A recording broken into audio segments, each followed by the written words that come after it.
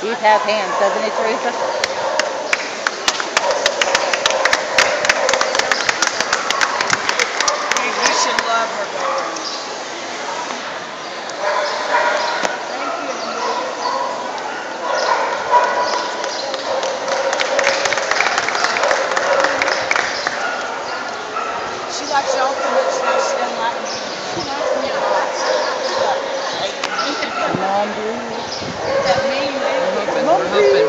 I think it's going to happen. I'm so hoping.